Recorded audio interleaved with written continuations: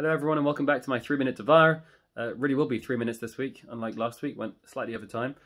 Um, this week's portion is Parshat Lech Lecha, where we are introduced for the first time to Abraham, our forefather Abraham, an incredible, incredible human being who discovered God all by himself. He was living uh, in, in a, in a pagan society where people were doing human sacrifice and the like, and he, he sort of looked at the world around him and thought this doesn't make any sense. There's no way this could be true. And he went on his own spiritual journey, ended up discovering God for himself, realized that monotheism was the only possible truth. And the rest is history. The Jewish people were formed as a result of that, and we are who we are today very much as a result of, of who Abraham and his son Isaac and his grandson Jacob were. When we look at the life Abraham lived, we are told that he had 10 tests, 10 challenges which God gave him to allow Abraham to really prove what he was capable of doing to himself, to allow Abraham to prove to himself who and what he was and what he was capable of doing.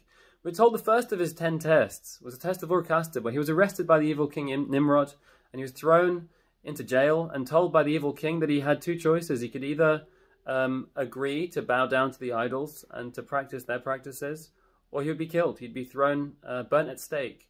And Abraham decided it's much more important to me to remain true to who I am uh, and he said, if you want to throw me into the fiery furnace, go ahead, because I'm not bowing down to those idols.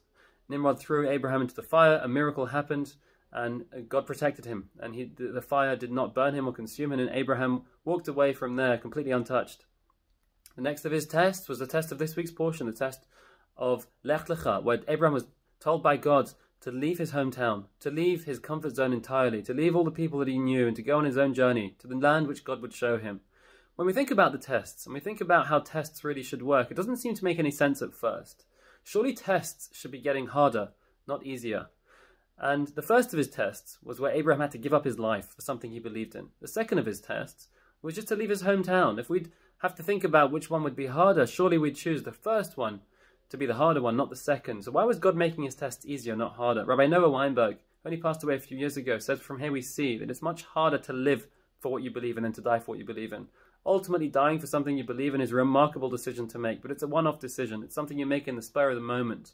But to live for what you believe in, to live an entire life based on the values that you hold near and dear, that's something which is a lot more challenging. And he says, think about the things which you are ready to die for and start living by them. Because those are the things which you truly hold to be deeply true to you. And those are the things which are most important to us. And if we can identify those things, those things which we are ready to die for, and start to live our lives based on those values and those ideas, then that's the best life we could possibly live. Wishing everyone a Shabbat Shalom and once again a fantastic week ahead.